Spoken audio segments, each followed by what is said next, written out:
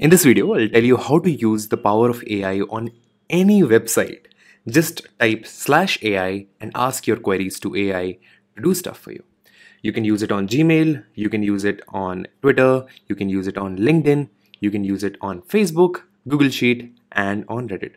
All you need to do is type slash AI colon and then write uh, ask AI whatever you want it to do, and it will do it for you in just seconds.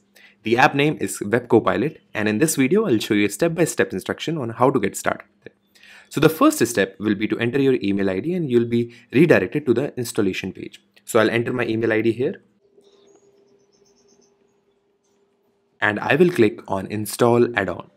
Once you will click that, you'll be redirected to a Chrome web store where you can click on add to Chrome. Now I have already added it over here it was not visible because I'm doing the development but you can see it. Um, so here is how the extension will look like on your um, taskbar. You can just click on pin so that it stays there. Now what you need to do is enter your email ID so we will enter the email ID and we will click on send OTP just give it a second and it will send an OTP on your email ID perfect. Now if I see here I have an OTP I'll copy that and I'll come back to the extension, paste the OTP and click on check OTP and log in. So you'll just click on that. Now it will ask you for an OpenAI license key. If you don't know how to create that, you can just check out this video where I'll show you how to create uh, an OpenAI account. And after you're done doing that, you'll be you can visit this particular URL.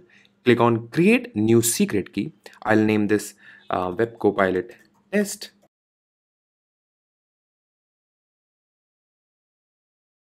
So I'll go here, paste the key and click on save. That's all. Now let's try using it. So the first example is of Gmail. So I have a prompt ready here and I'm going to copy that for Gmail.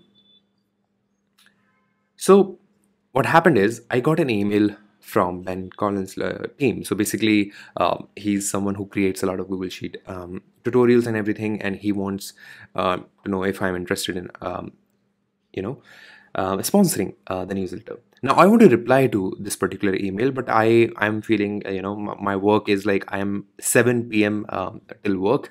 I'm quite exhausted and i just want to i want to reply to this email but i don't have the energy. So i'll use ai to do this for me. All i do all i do is i just say ai colon make sure this is exact because this is how we will detect your talk, you want to talk to ai i will copy the whole text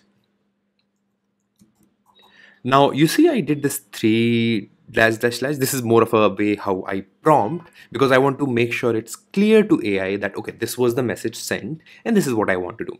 Then I basically said tell yes I am interested but want to know about example of the placement and some proof of the open rate and click through rate. And in the end I mentioned keep it short. Okay, once you enter the whole prompt, you have to end it with a semicolon. So I am a developer, so I end every line of my code with a semicolon. So that's how I made the extension to work. Once you do that, just hit space. Now you should be able to see a loading option somewhere. Let me check. Okay, probably this page was already open. Now this will happen, of course. I need to reload this page because if your extension was newly installed and something like that, or maybe you added the key recently, so this can happen. So just reload and then I'll just okay you see it's happening it's loading. And here's the AI response in like second. Yes I'm interested in the uh, can you please provide example of additionally I would like to see proof of the last email. Awesome awesome right? So this is like generated by AI now next stuff we will go on Twitter. Let's check on Twitter.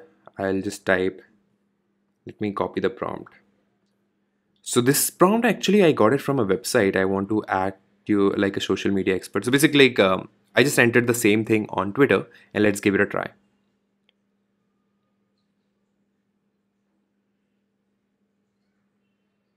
Perfect. You see, you have a tweet ready, man. If you want, um, like for example, if you want this to be like, you know, keep it uh, till 280 characters, I can actually mention that.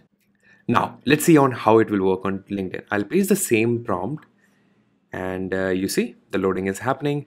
So the way you'll be able to use AI is to make sure you have slash AI colon and then you have semicolon in the end. whatever is in the middle will be sent to the AI and AI will answer that accordingly.